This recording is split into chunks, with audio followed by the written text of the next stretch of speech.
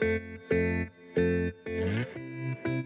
everyone, in this video I'm going to show you how to test your chips uh, to mainly test the battery.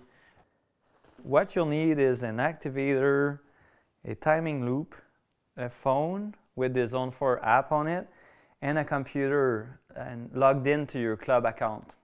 So under the organization settings of your club, you'll want to go to race timing and uh, then you go to timing devices.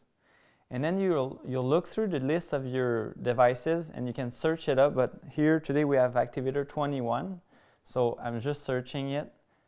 I'm clicking on activator 21 then I'm going to tools. And then I, I have here the chip tester. So I'm just opening the chip tester. And now I'm ready to uh, do my test. I'm just gonna here connect the activator to the loop I got my phone ready with the Zone 4 app on it and the computer ready.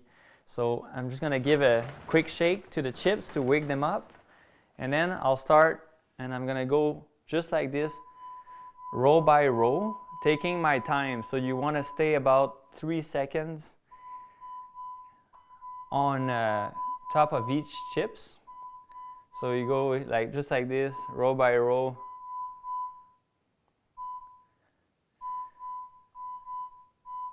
and then I can disconnect now the loop. As, as I can see, it says no missing chips.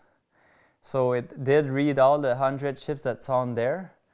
And now I go and click on check for low batteries. This will take a few seconds. Once I've got the report for my low batteries, I just scroll down. And what I'm looking for is the red, uh, the ones that are marked in red. So I can find one here F28 in this case. So this one tells me to replace the chip.